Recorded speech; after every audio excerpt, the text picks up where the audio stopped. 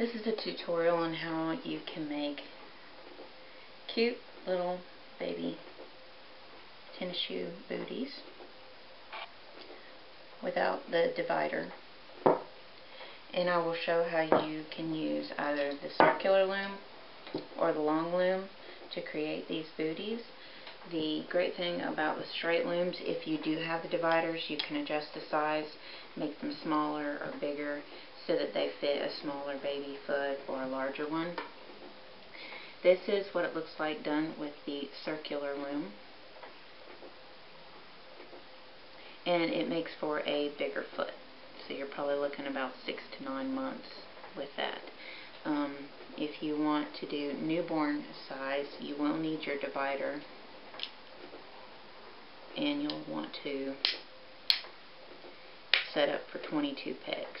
2, 4, 6, 8, 10, 12, 14, 16, 18, 20, 22. You'll want to set it for 22 pegs if you want to do the newborn.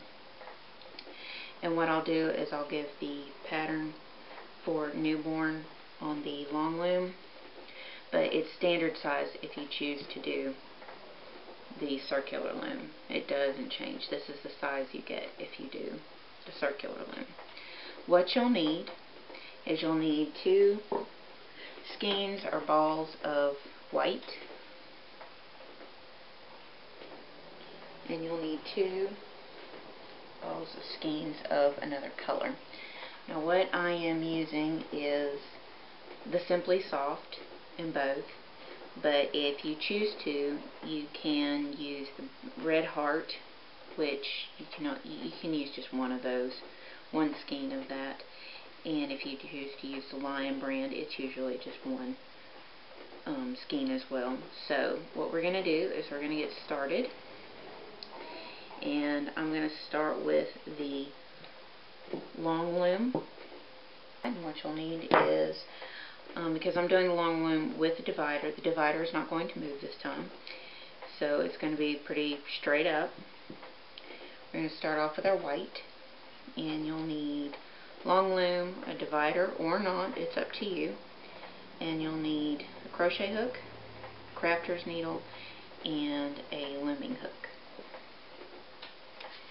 So, let's get started. Take an end, and tie it. Okay. E-wrap all the way around, nice and loose.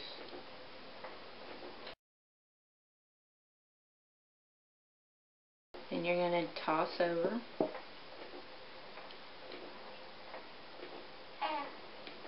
All the way around. This will be your cast on row. Go around and toss it all over.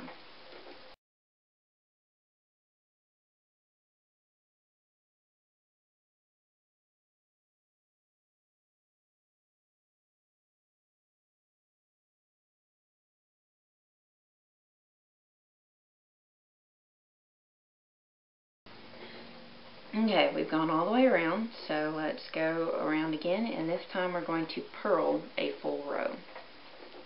Take it up and under, pull it up, pull off,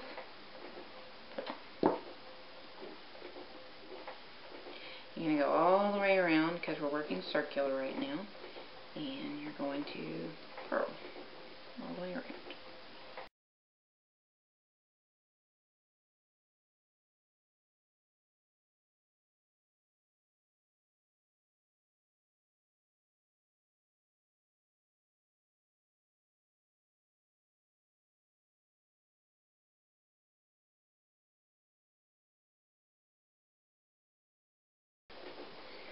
Release.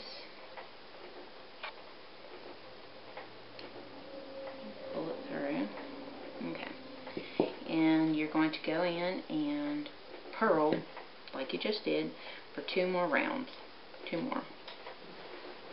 Okay, we've just done two more rows of purling, and then you're going to go in and do a toss over knit all the way around.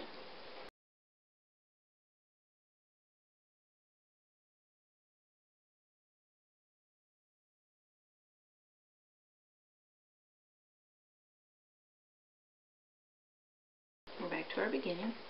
And then we're going to go in and purl another row.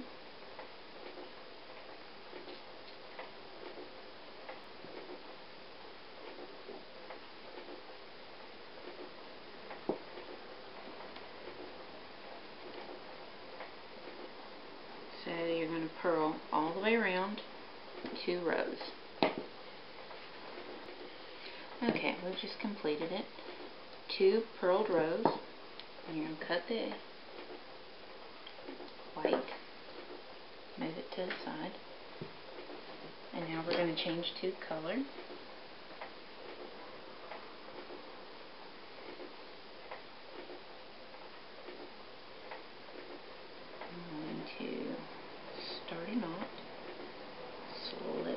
through the hole.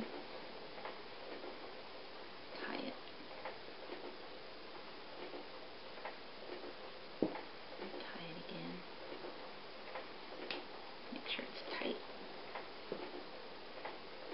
And then snip the extra. And then you're going to do a toss over knit all the way around for one row. So toss over. Make sure you do it fairly loosely.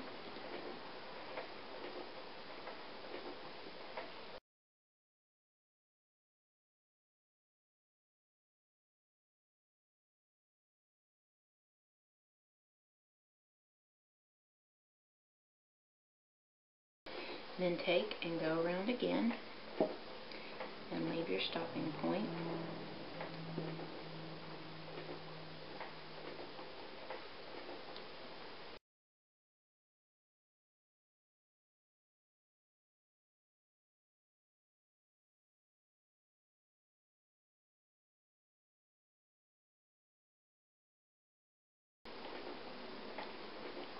We're now going to start working flat.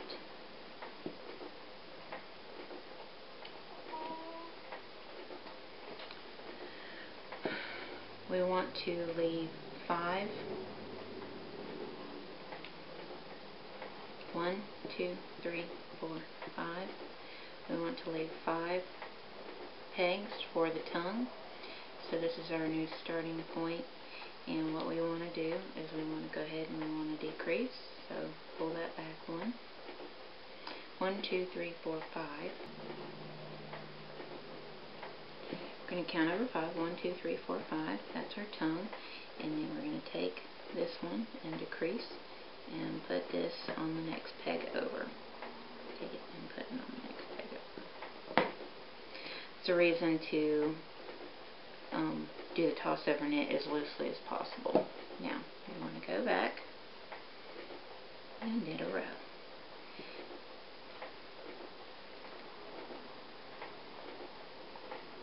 Them together.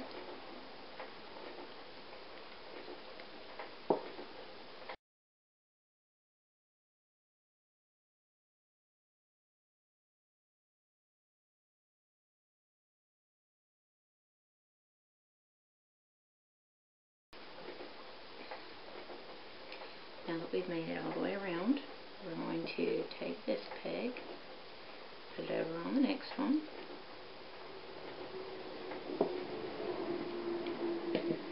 and do the same thing over here, and put it on the next one.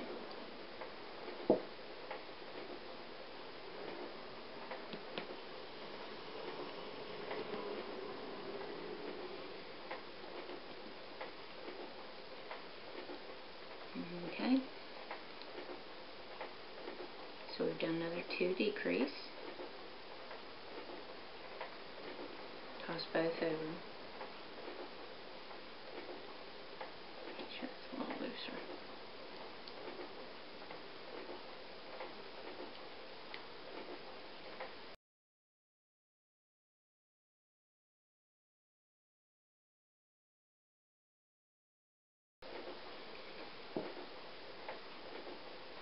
Now what we're going to do is we're going to pull back again,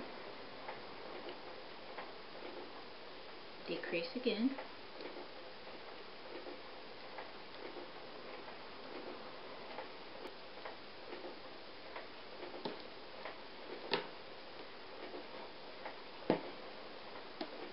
make sure we count. So we know we got 5 here. 6, 7, 8, 9, 10, 11, 12, 13, 14, 15, 16. So we have 16 pegs. So we have 16 pegs. And we'll stop there. So go ahead and go around. We won't do any more decreasing. So toss both those over.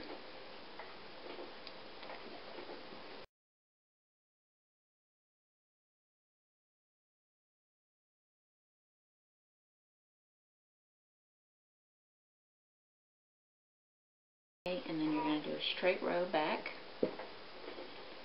Just toss over knit.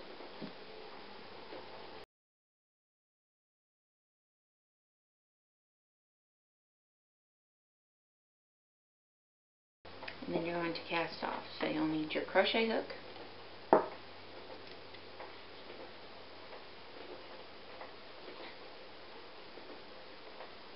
whip it around, pull through, put the next loop on the hook, pull it through, pull through,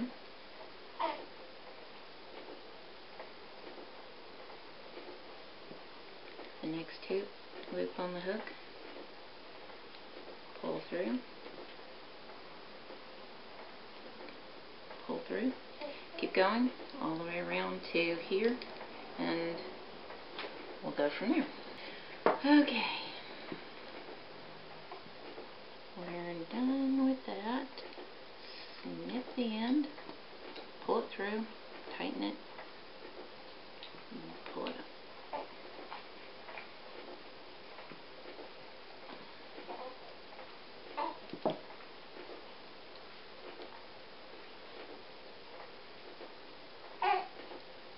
It's time to work on our tongue.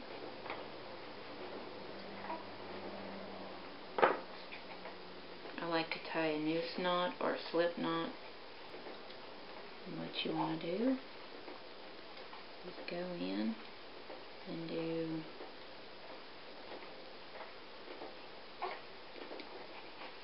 six rows straight.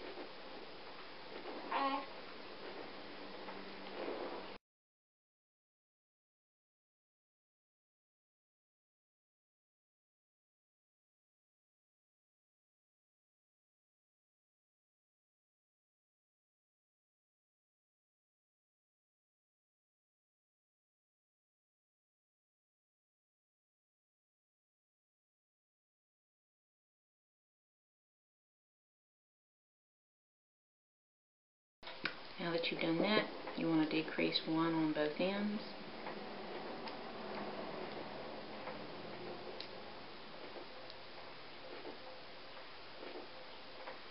Down to three. Curve that tongue.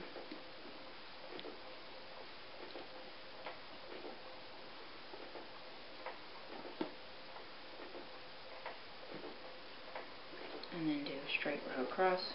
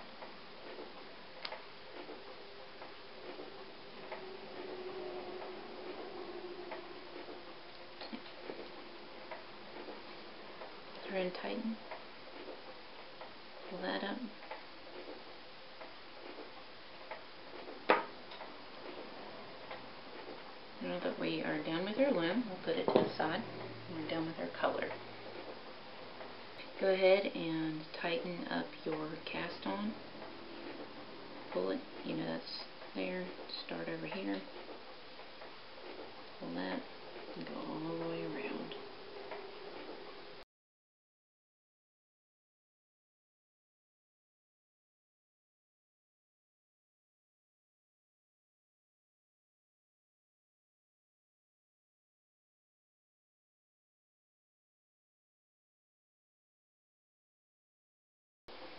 Go ahead, flip it inside out.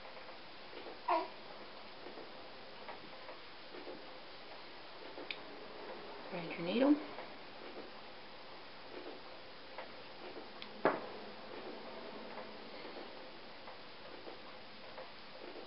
Make sure you got it centered up.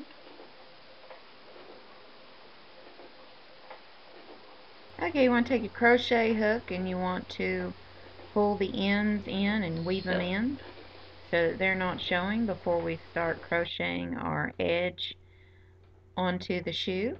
So go ahead and do that.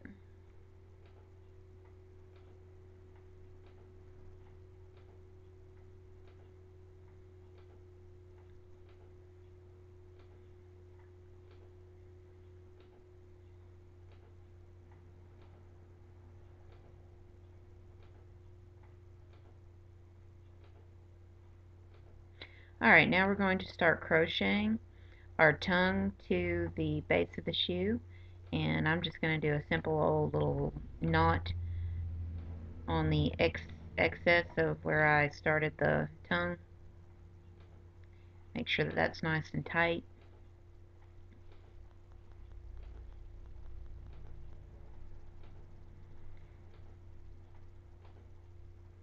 And now I'm going to start crocheting. And what I want to do is I want to stick the hook through both ends, like we're going to sew it together.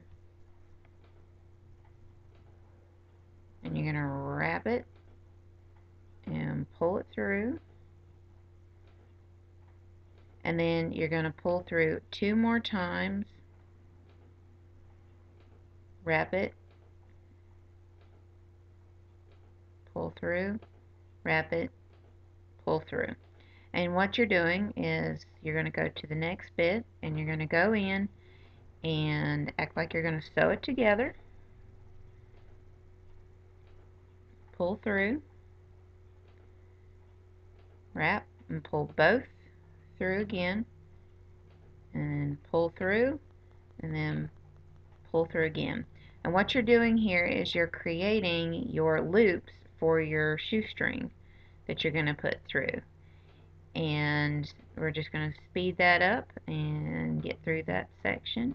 But that's what you're going to do. You're going to pull both through and then wrap pull through both loops and then loop loop.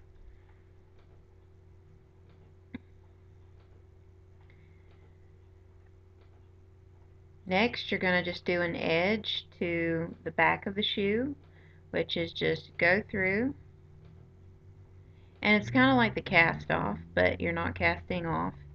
You're just going through and you're putting the hook through the shoe, wrapping, pulling through, wrapping, and pulling both loops through. Then you're going to stick the hook in again. And you're going to do this all the way around the edge. You're going to wrap, pull through and then wrap and pull both through.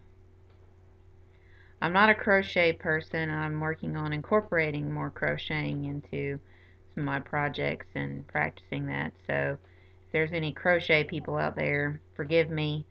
I'm still kind of a beginner at it, but the looming I'm pretty secure on. But continue doing that all the way around.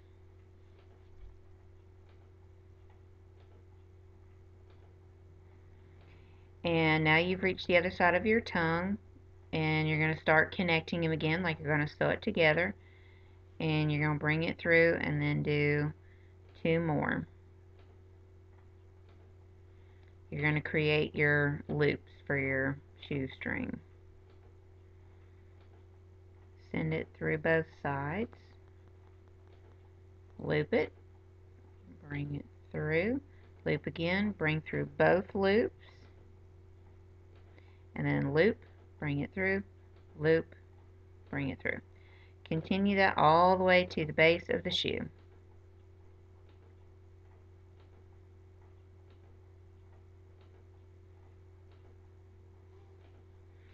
Alright, snip it, pull through, pull tight, and then you're going to take the crochet hook and you're going to pull it to the center of the shoe so that that excess isn't sitting out there.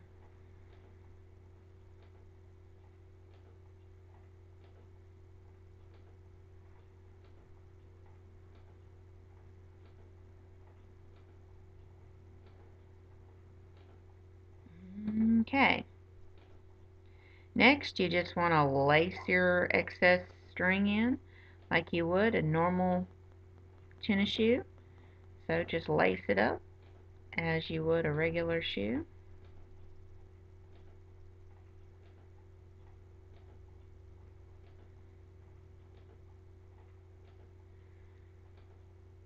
Tighten it.